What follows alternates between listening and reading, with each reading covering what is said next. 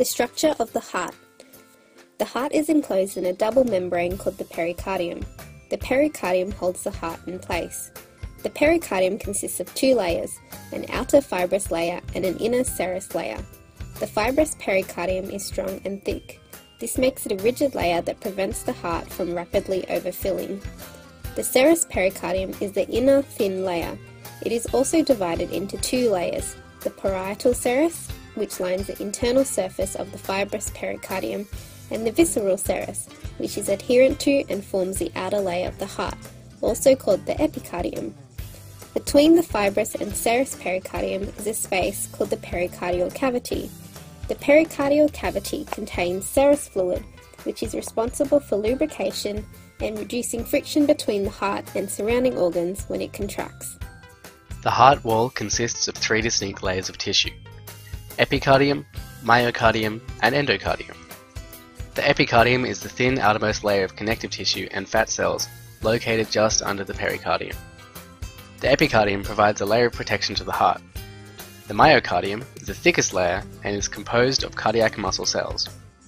Cardiac muscle cells are unique to other types of muscle because they are electrical conductors. This helps coordinate the contraction of the heart. The muscle cells in the myocardium are connected to each other by intercalated discs. Intercalated discs strongly adhere muscle cells to one another to keep the muscle together during the strong contraction phase. Intercalated discs also conduct the electrical impulses across the branching muscle fibers to synchronize the contractions. The endocardium is the thin innermost layer of the heart. It is comprised primarily of endothelial cells. Its function is similar to the endothelium of blood vessels as they need to provide a smooth, non-adhering surface for good blood flow. The endocardium also helps to regulate the composition of the fluid surrounding the muscle cells to affect their performance. Coronary arteries are responsible for supplying the blood to the tissues of the heart. The heart requires a strong blood supply to function properly, and so the heart is very vascular. Trabeculae carneae are pillars of muscle that branch irregularly across the lining walls of the ventricles. These bundles serve to reduce turbulence and suction and so prevent backflow of blood into the atria. Chambers of the heart.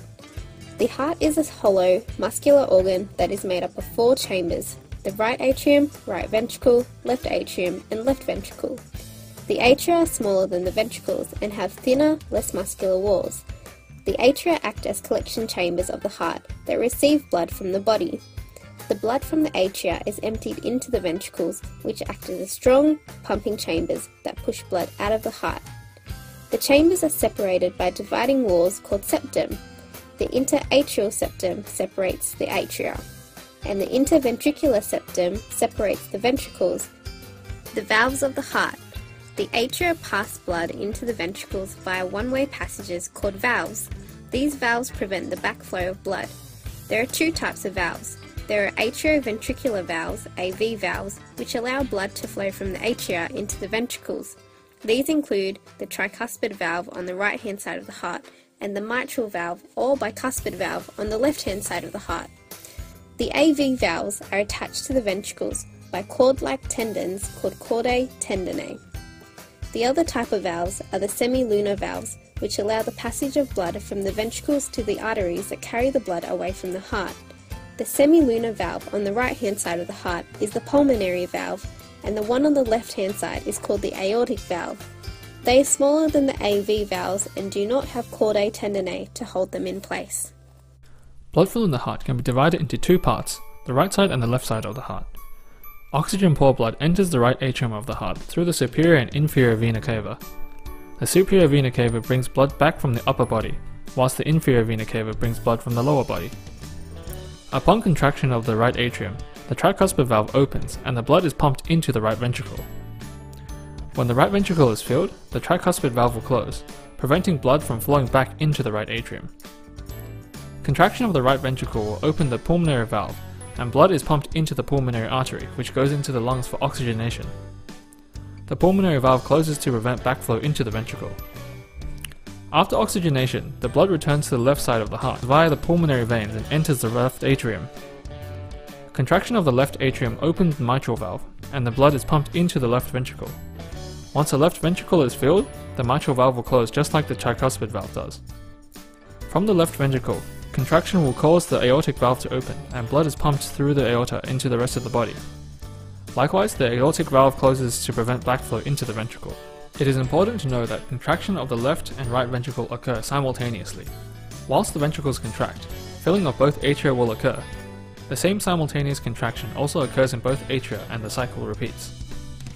It should be noted that although the same volume of blood is moved by either side of the heart, the wall of the left ventricle is the thickest as it needs to pump blood to the rest of the body against the blood pressure. The cardiac output of your heart describes the volume of blood being pumped by the heart per minute.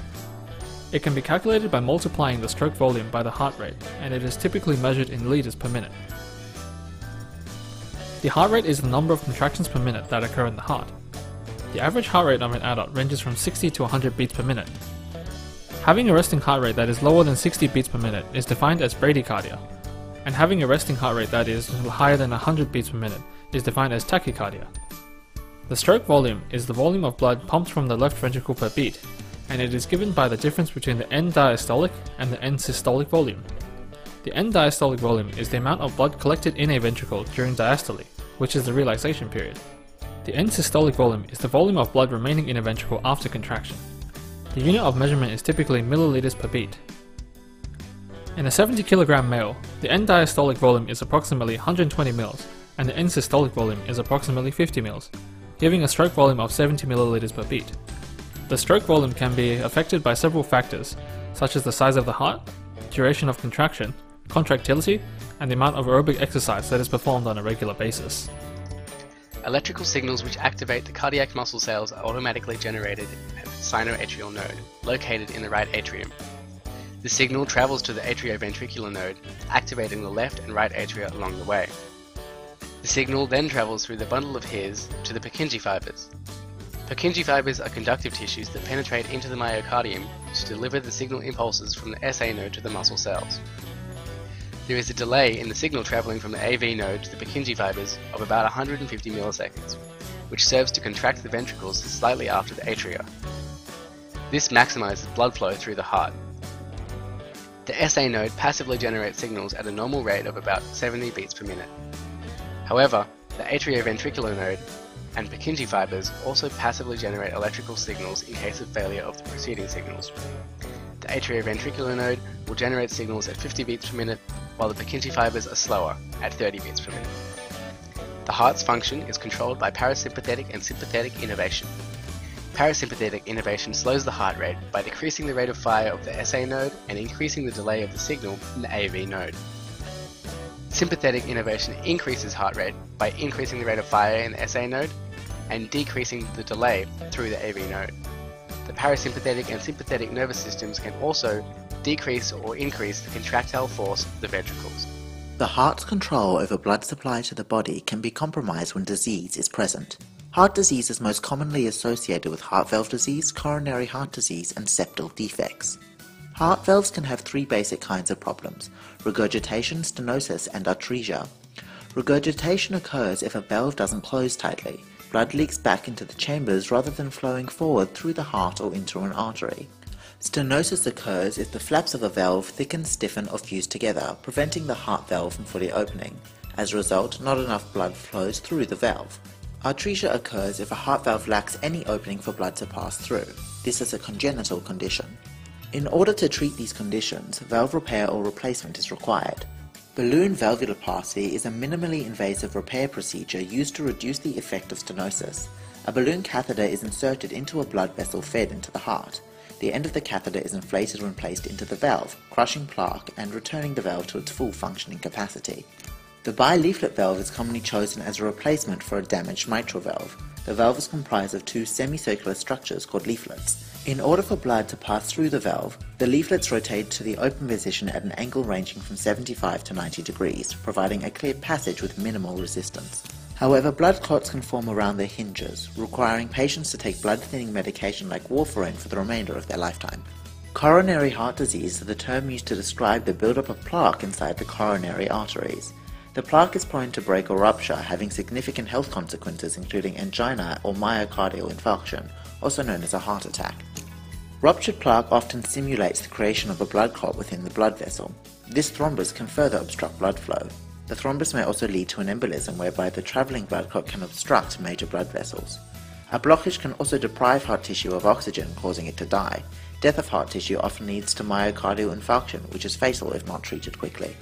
Patent foramen ovale, or PFO, is a hole between the left and right atria of the heart. This hole exists in everyone before birth, but usually closes shortly after being born. When the hole doesn't close, it is known as a PFO. Whilst a fetus develops in the womb, a small opening exists between the two upper chambers of the heart. A fetus doesn't use their own lungs, instead they rely on the mother for oxygenated blood. The foramen ovale helps circulate blood more quickly in the absence of lung function. A lack of closure of the hole may increase the risk of paradoxical thromboembolic stroke. However, this is very rare and most current research indicates that the PFO will not be detrimental to long-term health.